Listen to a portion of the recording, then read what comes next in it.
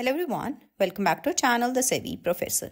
In this video, I'm going to walk you through on how you can add YouTube TV to all older Vizio Smart TV.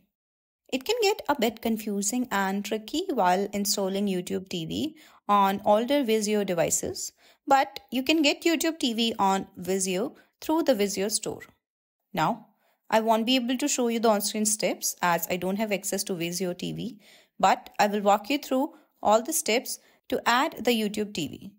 Now, first, to install the YouTube TV app on Vizio Smart TVs, you should press the VIA button on the Vizio TV's remote control. Choose YouTube from the application menu on TV. On YouTube screen, on store, install the app on the TV. And then sign in to your YouTube account. And you will be able to watch YouTube TV on Vizio TV. So this is how you can add YouTube TV to all your Vizio Smart TV. I hope this video helped you out. If it did, then don't forget to smash that like button and also subscribe to the channel. I will see you in the next one. Till then, take care.